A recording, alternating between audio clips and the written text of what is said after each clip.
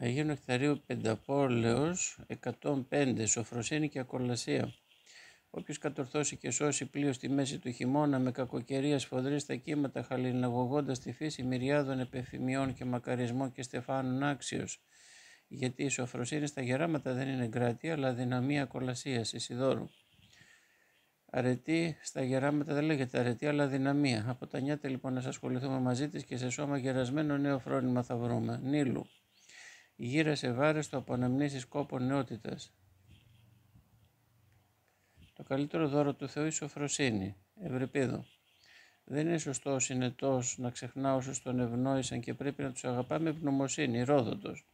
Σόφρον και φίλος Θεού, γιατί όμοιος του είναι. Πλάτων. Καλή λογισμή από το Θεό μέγιστο δώρο. Εσχύλου. Πρέπει εμείς οι χριστιανοί, λέει ο Απόστολος, να περπατάμε με ευσχημοσύνη και εφταξία και χριστοήθεια έξωθεν ηθών και αρετή και όχι με αμαρτίες και άμετρη νοποσία και υπερβολική που συνοδεύεται συνήθως και με άσεμνα τραγούδια. Λέει ο Άγιος Νικόδημος Αγιορείτης, ελληνική λέξη χρησιμοποιώντας παρινίες και ξένοι μαντινάδες και ούτω καθεξής, των οποίων τα λόγια και τους στίχους εσχρόνεστε και λέγειν τις πιο πολλές φορές αφού παραπέμπουν σε ασέλγειες, μοιχείες, πορνίες, αιμομιξίες και τα όμοια, ψυχοβλαβή και ψυχοφθόρα που οδηγούν σε όλα τα εσχρά και ακάθαρα πάθη της αρκός. Και εδώ ο Άγιος Νικόδημος Αγιορείτης τονίζει την αποφυγή της παράνομης σχέσης που προκύπτει από τέτοια συμπεριφορά και όχι την νόμιμη μίξη της γυναίκας.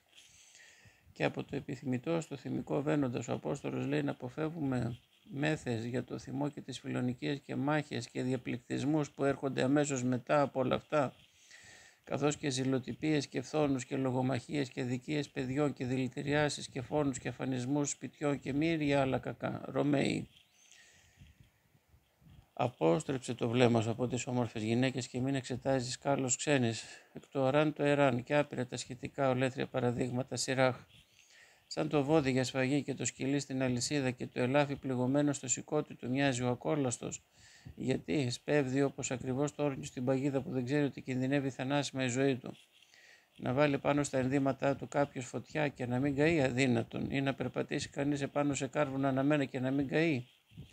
Έτσι θα συμβεί και σε όποιον πλησιάσει η γυναίκα παντρεμένη και όποιος την αγγίξει, αυτά θα πάθει. Παιδί μου, από ξένο νερό κρατήσου μακριά και μην πιει από ξένη πηγή νερό να ζήσεις πολλά χρόνια πάνω στη γη και να σου προσθεθούν και άλλα χρόνια ζωής αιώνιας, Σολομών.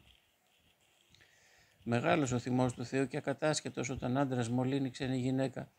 Το κακό αυτό είναι φωτιά και εκεί το σπίτι παντού και όταν πέσει καταστρέφει και τα θεμέλια ακόμα αναπότρεπτα και ολότελα. Ιώβου. Σοφροσύνη στα γεράματα δεν είναι σοφροσύνη αλλά κολασία σαν δυναμία όσο μπορείς.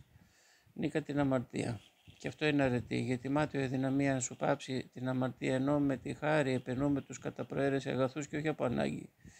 Πρέπει λοιπόν το νου σαν κυβερνήτη πάνω στα πάθη να κάθεται και στο πλοίο του σώματος επιβαίνοντας και γνωρίζοντας τους λογισμούς πολύ καλά από εμπειρία, να περιστρέφει σαν το τιμόνι και να καταπατεί τα κύματα με γενναιότητα και να μένει υψηλότερα και δυσπρόσιτο στα πάθη έτσι μένοντας χωρίς πικρία από αυτό σαν άλμη να γεμίζει βασιλείου.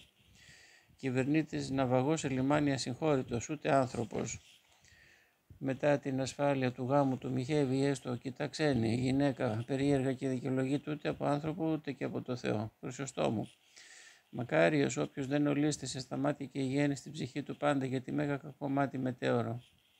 Μακάριο άνθρωπος που βλέπει απλά και όχι εμπαθώς, γιατί έχει γραφεί ότι οι κακοί βλέπουν όλο κακά και οι αγαθοί ησυχάζουν. Σημεών.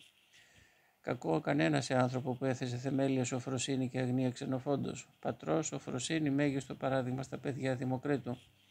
Δεν νομίζω ότι υπάρχει μεγαλύτερο πράγμα από τη σοφροσύνη, γιατί από τους αγαθούς ποτέ δεν φεύγει ευρεπίδες. Σώζεται η σοφροσύνη από το μέτρο. Αριστοτέλης. Όλα τα καλά ασκούνται, αλλά δύσκολα η σοφροσύνη. Σοκράτης.